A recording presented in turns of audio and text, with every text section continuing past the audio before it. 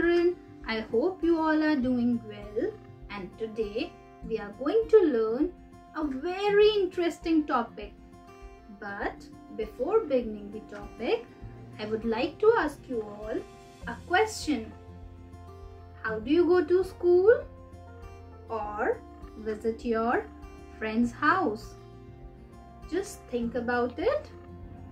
How do you go to school? Or visit your friend's house?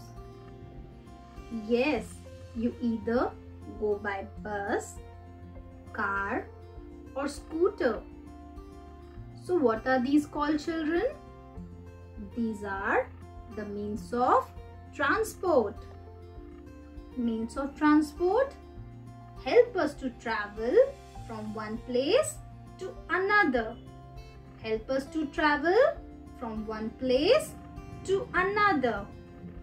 So children, if you want to travel from one place to another, what do you need for that? You need transport for that. Transport is further divided into three categories. First is land transport. Second is water transport And third one is air transport. Students, let's learn them in detail now. So what is land transport children?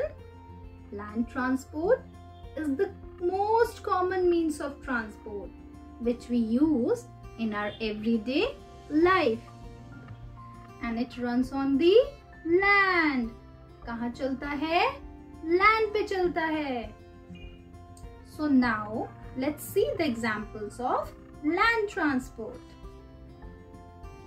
bicycle car bus motorbike auto rickshaw trains are some other examples of land transport. Moving on to next means of transport, we have water transport. What is water transport children? Water transport is the oldest means of transport and it sails in the water.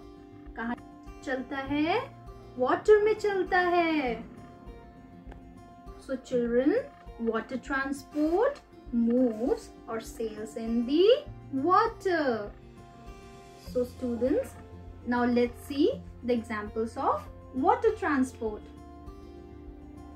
ship boat motorboat yacht submarine are some other examples of water transport. Now we will talk about the last means of transport that is the air transport. Air transport runs in the air and it is the fastest means of transport. Out of all the three means of transport, air transport is the fastest means of transport. So what are the examples of air transport children? Helicopter, aeroplane, hot air balloon. These all are the examples of air transport. Rocket and spacecraft are some other examples of air transport. So students, let's revise what we have learned so far. Transport helps us to travel from one place to another. It is further divided into three categories. First is land transport. Land transport runs on the land.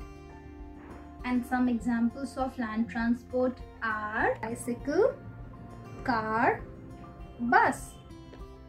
The second means of transport is water transport. Water transport moves or sails in the water. And some other examples of water transport are ship and boat. And the third means of transport is air transport. And we learned that air transport is the fastest means of transport and it runs in the air. So let's revise the examples of air transport which we learned before. Helicopter, hot air balloon, aeroplane. And do you know children, when we want to travel with many people and carry lots of goods, we use we use aeroplane in air transport and ship in water transport and trains in land transport. And remember children, trains, gadi runs on the track. So students, enough of the learning. So now let's have some fun. So students, out of these three means of transport, my favorite means of transport is air transport. So now I'm going to recite a rhyme on aeroplane which is an example of air transport. Aeroplane, aeroplane up in the sky. Where are you going flying so high? Over the hills and over the seas. Aeroplane, aeroplane, will you take me please? Students, I hope you enjoyed it. So now it's your turn to recite a rhyme on your favorite means of transport. So thank you so much children for watching the video. I hope you all